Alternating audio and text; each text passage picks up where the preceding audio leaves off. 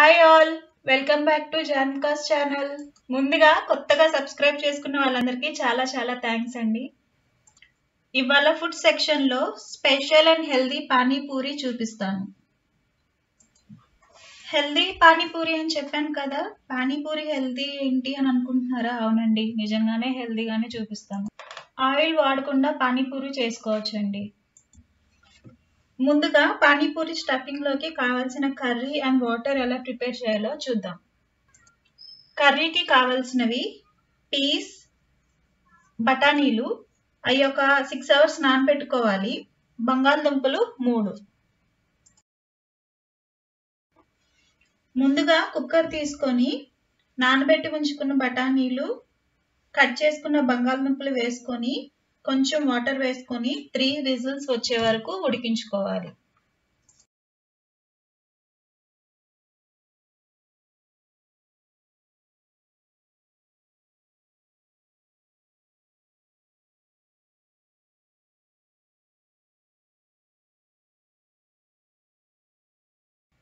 ఇవి ఉడికేలోపు పానీపూరి వాటర్ కోసం కొంచెం చింతపండు నానబెట్టుకోవాలి. పానీపూరి వాటర్ తయారు చేసుకునే విధానం. ఒక జార్ తీసుకొని ఒక కట్ట పుదీనా ఒక కట్ట కొత్తిమీర తీసుకోవాలి. రెండు పచ్చిమిర్చి ఒక నిమ్మకాయ రసం మొత్తం పిండుకోవాలి.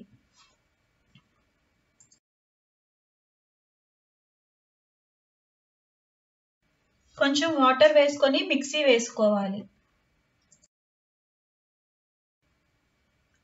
ఇప్పుడు ఒక స్ట్రైనర్ తీసుకొని గ్రైండ్ చేసుకునే పేస్ట్ని తగినన్ని వాటర్ వేసుకొని స్ట్రెయిన్ చేసుకోవాలి.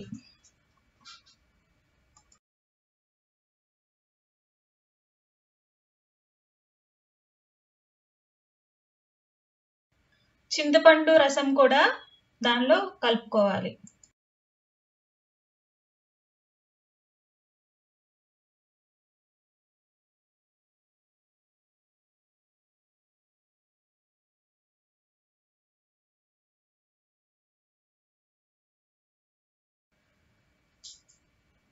ఇప్పుడు దానిలో ఒక టేబుల్ స్పూన్ కొరియాండర్ పౌడర్ ధనియాల పొడి ఒక టేబుల్ స్పూన్ చాట్ మసాలా రుచికి సరిపడా ఉప్పు వేసుకొని మిక్స్ చేసుకోవాలి. పానీపూరి వాటర్ రెడీ అయింది. సో మళ్ళీ మనం కర్రీ ఎలా ప్రిపేర్ చేసుకోవాలో చూద్దాము. స్టవ్ ఆన్ చేసుకొని కడాయి పెట్టుకొని టూ టేబుల్ స్పూన్ ఆయిల్ వేసుకోవాలి.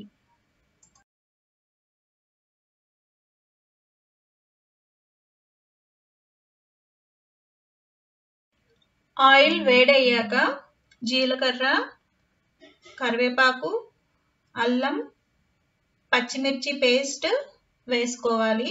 అవి కొద్దిగా వేగాక ధనియాల పొడి జీలకర్ర పొడి పసుపు కారం ఇవి నాలుగు కూడా ఒక టేబుల్ స్పూన్ వేసుకొని కలుపుకోవాలి.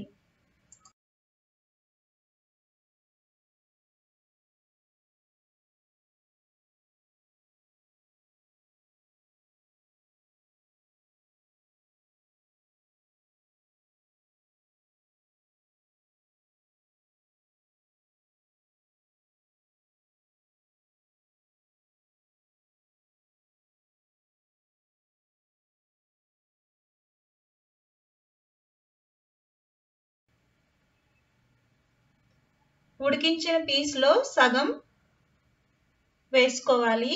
మిగతా సగం పీస్ని మెత్తగా మ్యాష్ చేసుకొని ఉంచుకోవాలి. బంగాళదుంపలు కూడా మెత్తగా మ్యాష్ చేసుకోవాలి.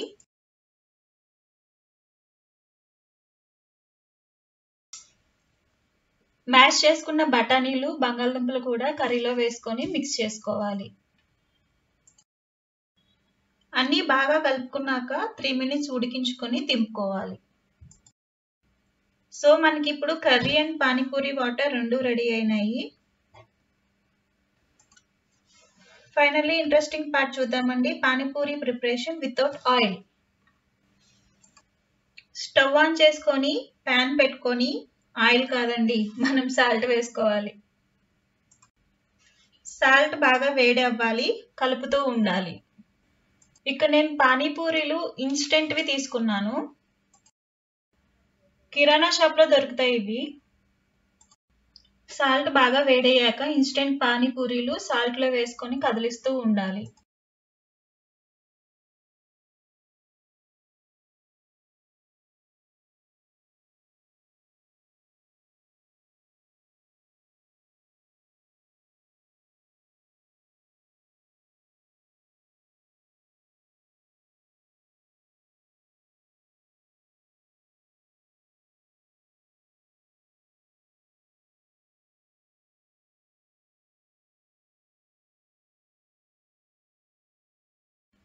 చూసారా? చాలా బాగా వచ్చాయి. ఆయిల్లో వేసినట్టుగానే.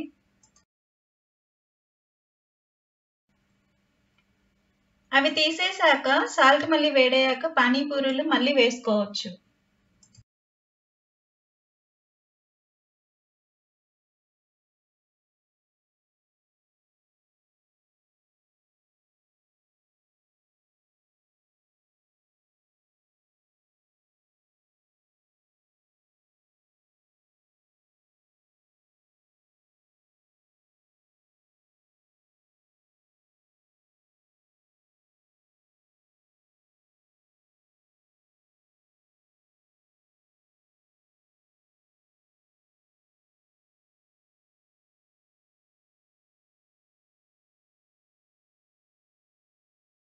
చాలా పర్ఫెక్ట్గా క్రిస్పీగా వచ్చాయి. ఆయిల్ అవసరం లేకుండా.